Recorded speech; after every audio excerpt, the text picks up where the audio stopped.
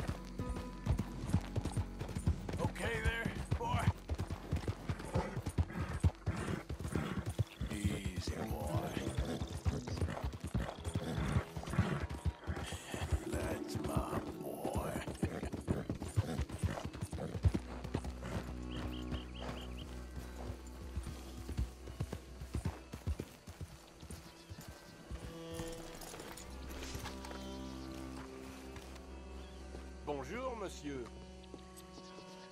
Out of the way!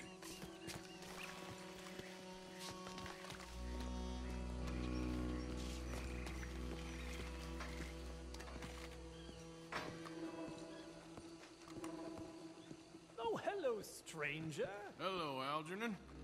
Well then, did you get those eggs?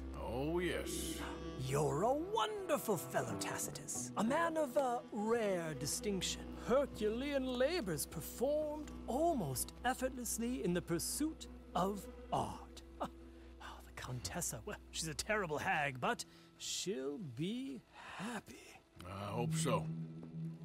What do you think of this hat? Huh.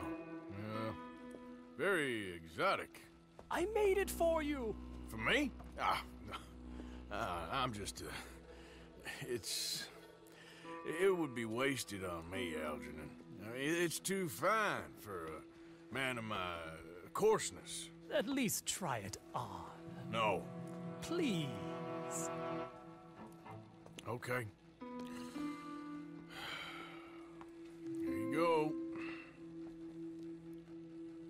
Yeah. It's not exactly me. No, you're right. It's all wrong. I went forte, and I should have gone molto adagio. Here's your money for the eggs and the flowers. Have you got anything else? Oh, but I've imposed too much already, and I'm ashamed of the millinery. You pay well, and it's easy enough work.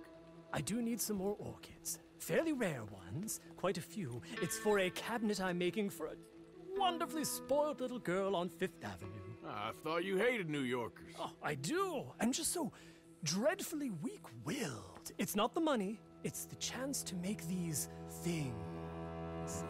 Oh, I wanted to say no, Tacitus. I really did. But somehow. huh, I never can. I'll see what I can do. Oh, and uh, Tacitus, I'll make you something. Honestly, I'm fine.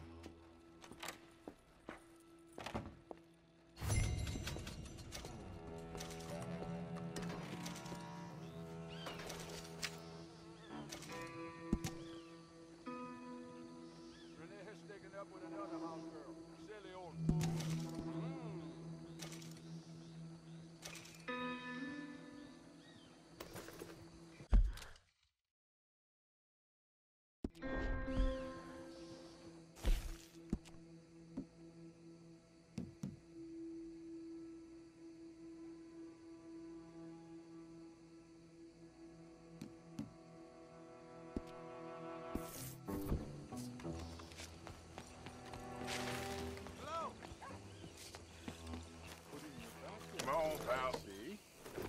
Come on,